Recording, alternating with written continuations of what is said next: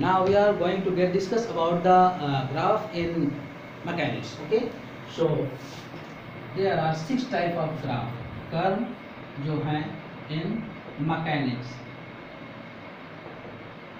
जो यांत्रिकी में यानी अभियांत्रिकी में जो वक्र हैं वो कितने हैं? ये हैं एक्स टी कर्व यानी एक्स वर्सेस टी जैसे बोलते हैं भारत बनाम पाकिस्तान तो कैसे लिखते हैं? इंडिया वर्सेस पाक तो ये इंडिया वर्सेस पाक डैश करके ऐसे लिखते हैं। एक्स वर्सेस टी एक्स बनाम टी तो ऐसे लिखते हैं। तो x t v t a t v x a x and a b इतने कर्व अब इनसे हम क्या निकालेंगे? तो इनकी स्लोप नेचर और एरिया बाउंडेड द कर्व यानी इनकी प्रवणता से कोई नई राशि मिल जाएगी, ढाल से, और इनके क्षेत्रफल से कोई नई राशि मिलेगी। ओके? तो चेक करते हैं वन बाई वन कि कैसे, कब इनकी स्लोप चेंज होगी, क्या कैसे? तो एक बार देखिएगा, जब भी हम कहीं ऐसे स्लोप के बारे में निकालेंगे तो स्लोप होती है m equal to tan theta ये आप पढ़ चुके हैं जिसे आप प्रमाणता जानते हैं। ठीक है? और ये होता है लंब बटे आधार वाई बटे एक्स तो ऐसा अनुपात करने से रेशियो करने से अगर कोई क्वांटिटी बनती है तो स्लोप होगी। नहीं बनती तो नहीं होगी।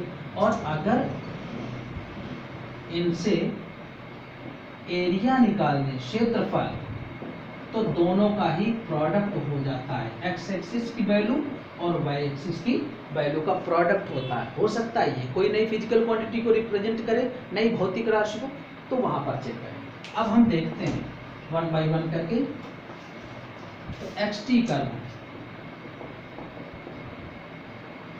तो एक्स टी कर्व जो है, ऐसे जब करेंगे तो इसकी एम जो होगी tan theta x by t होगी और x by t distance upon time speed हो जाएगी डिस्प्लेसमेंट अपॉन टाइम वेलासिटी कुल मिलाकर इसको हम v लिख सकते हैं तो v equal to tan theta बनेगा। इसका एग्जांपल देख लीजिए, जैसे एक्स टी है सेकेंड मीटर ये ए है, ये बी है, ये थर्टी डिग्री ये थर्टी डिग्री तो v a ratio v b तो देखिए टेन क्या हो जाएगा ये? टेन थर्टी ए के लिए हो जाएगा और बी के लिए कितना हो जाएगा पूरा angle sixty degree tan sixty ठीक है? तो ये one by root three ratio root three one ratio three ठीक है? आप इसको और सॉल्व करके क्वेश्चन डाल सकते हैं। ये ए है, ये बी है, ये सी है। ये thirty degree fifteen degree fifteen degree इसके लिए आप सॉल्व कर सकते हैं। V a ratio b b ratio b c clear इसका बाउंडेड एरिया जो है, अगर निकालते भी एक्स वर्सेस टी का एरिया तो x इंटू टी आता और ये भी किसी भी क्वांटिटी को रिप्रेजेंट नहीं करता can not be equal to any physical quantity कोई भी भौतिक राशि को व्यक्त नहीं करता। तो ये ये हो जाता। सेम वे अगर हम वी टी कर्व निकालें वी टी कर्व तो देखिएगा वी टी कर्व में क्या होगा? बी टी इसकी अगर स्लोप देखें तो स्लोप हो जाएगी प्रवणता m equal to tan theta equal to v by t v by t किसको रिप्रेजेंट करता है ए को। तो इस केस में अब a equal to tan theta हो जाएगा। आप फिर वही क्वेश्चन आप डाल सकते हैं। ये टी सेकेंड है, ये वी मीटर पर सेकेंड है। यहाँ पर हमने मान लीजिए दो पार्टिकल लिए ए बी ये है थर्टी डिग्री और ये है फिफ्टीन डिग्री तो ए का एक्सीलरेशन और बी का एक्सीलरेशन का रेशियो पूछ सकता है। दोनों के त्वरणों का अनुपात। तो इस केस में ये बन जाएगा। अब हम इसका एरिया बाउंडेड द कर्व निकालते हैं। तो एरिया इसका रिप्रेजेंट करेगा, देखिए।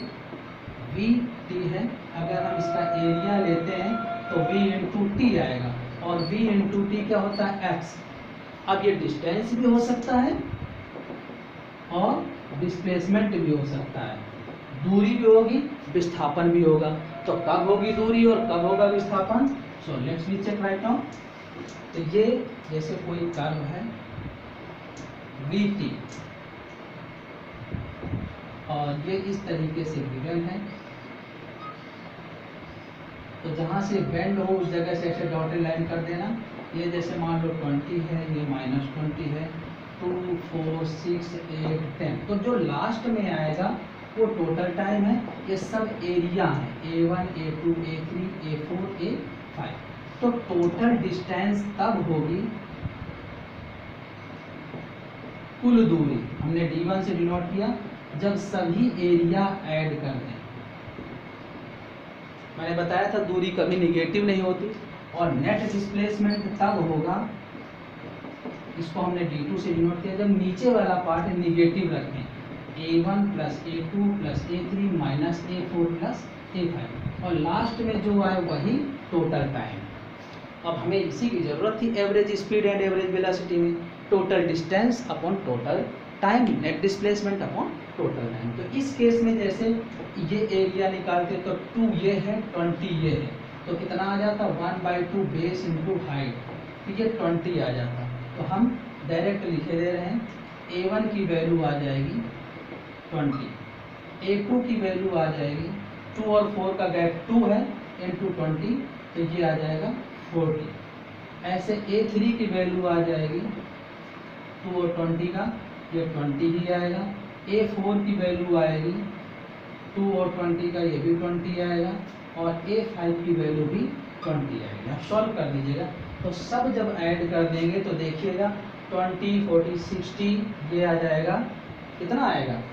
Twenty eighty forty hundred plus one इतने मीटर आ जाएगा लेकिन जब नीचे वाला निगेटिव रखेंगे तो देखिएगा अब मैं यहाँ पर करके दिखा रहा हूँ twenty plus forty plus twenty minus twenty plus twenty ये माइनस ट्वेंटी प्लस ट्वेंटी को ख़त्म करेगा तो forty twenty sixty twenty eighty meter. और टोटल टाइम कितना है? टेन सेकेंड तो अब आप सॉल्व कर सकते हैं। Average speed equal to total distance upon total time and average velocity equal to net displacement upon total time ये हो जाएगा 120 twenty upon ten twelve meter per second और ये हो जाएगा 80 upon ten eight meter per second तो इस तरीके से हम average speed and average velocity calculate कर लेंगे। अब देखिएगा ए टी कर्व। और लास्ट ए एक्स कर्व, ये चार कर्व ही कुछ फ़िज़िकल क्वांटिटी को रिप्रेजेंट करते हैं। तो अब ए टी कर्व की स्लोप नहीं होती है। ए टी कर्व की स्लोप का मतलब ए बाई टी करना और ए बाई टी किसी भी क्वांटिटी को रिप्रेजेंट नहीं करते। इसका एरिया होगा देखिएगा ए है टी है। अगर हम इसका एरिया निकाल लें तो ये आएगा ए इंटू टी अब देखिएगा ए इंटू टी की वैल्यू ये हम जानते हैं v equal to u plus a t तो v f minus v i equal to a into t यानी इसको क्या कह सकते हैं? चेंज इन वेलासिटी तो ए टी कर्व का जो एरिया है एरिया वो किसके इक्वल होगा? डेल्टा वी के. और इसको लिखते हैं v f minus v i और अगर बॉडी ओरिजिन से चल रही है तो वी आई क्या होगा? ज़ीरो होगा. मूल बिंदु में अगर स्थिति तो वहाँ से वी आई की वैल्यू ज़ीरो होगी। तो चेक करते हैं इसके लिए एक एग्ज़ाम्पल ए टी ऐसे है। ये सेकंड है। ये। तो इसका एरिया कितना हो जाएगा? वन बाई टू बेस कितना है? एट है। और हाइट कितनी है? फिफ्टी टू हंड्रेड आ जाएगा। तो एरिया किसके इक्वल होता है इसका? V f minus v i तो two hundred equal to v f minus zero origin से चल रही है मूल बिंदु से। तो v f equal to two hundred metre per second ऐसे क्वेश्चन में पूछा जाएगा कि अंतिम बिंदु पर वस्तु का वेग क्या था, क्या है? तो ये होगा। What will be the at the point B ऐसे सॉल्व कर लेंगे। अब देखिएगा लास्ट कर्व है ए एक्स ये वाले ग्राफ से क्या होगा? तो ए एक्स कर्व का जब एरिया निकालेंगे तो देखिएगा, इसका एरिया आ जाएगा ए इंटू एक्स अब ये किसको रिप्रेजेंट करता है? तो देखिए चेक करिए। V square equal to u square plus two a x तो v f square minus v i square by two equal to a into x ये एरिया किसके इक्वल आएगा? V f square minus v i square upon two अब इसको और change कर सकते हैं। अगर हम इसमें देखिएगा मास से मल्टीप्लाई डिवाइड कर दें तो ये एरिया है। अब हमने इसमें एम से मल्टीप्लाई कर दिया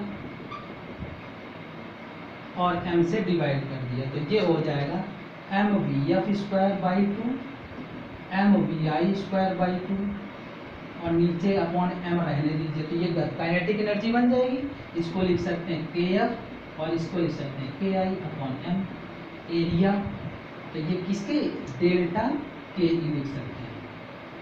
Okay change in kinetic energy तो इस एरिया को हम ये भी लिख सकते हैं, और इसको हम डेल्टा के ई अपॉन एम भी लिख सकते हैं। ये दो फॉर्मूले इसको हमने v square equal to u square plus two a से सॉल्व कर देंगे तो एरिया ये आ जाएगा। अगर हम दूसरा बनाना चाहें तो द्रव्यमान से गुणा और द्रव्यमान से भाग कर दिया तो ये गतिज ऊर्जा के रूप में आ गया। ओके? इसका एक छोटा सा क्वेश्चन ले लेते हैं। ये आएगा।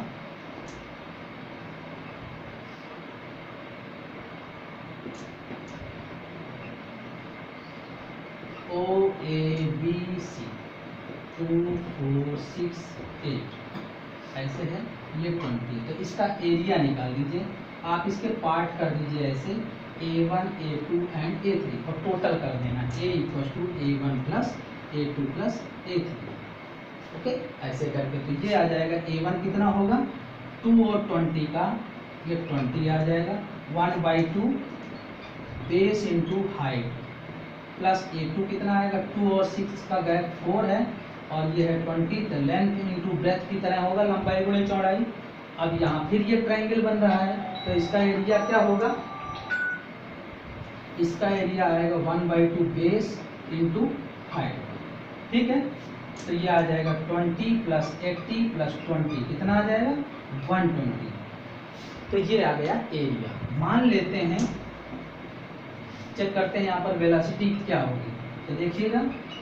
एरिया होता है v f square minus v i square by two तो एरिया आया one twenty v f square minus zero by two तो वी एफ़ आ जाएगा under root two forty metre per second क्योंकि इनिशियली ये कहाँ से? ऑरिजिन से चलना स्टार्ट किया था मूल बिंदु से तो प्रारंभिक वेग ज़ीरो विराम अवस्था से स्टार्ट किया एट रेस्ट से। ओके अब ये एरिया से हम अगर मान लें इफ़ जो बॉडी चल रही है यहाँ से ऐसे उसका कुछ मास दिया गया होगा। Mass equal to fifty gram तो चेंज इन काइनेटिक एनर्जी क्या होगा? तो देखिएगा एरिया इक्वल टू होता है डेल्टा के ई अपॉन एम तो ये है 120 डेल्टा के ई कैलकुलेट करना है और मास 50 ग्राम को हम केजी में कन्वर्ट कर दिए। तो डेल्टा के ई आ जाएगा 120 twenty into fifty into ten power minus three okay तो ये आ जाएगा into ten power minus three means six joule तो काइनेटिक एनर्जी में चेंज कितना आया? सिक्स जूल का ओके तो in this way will calculate the change in kinetic energy in final velocity at this point okay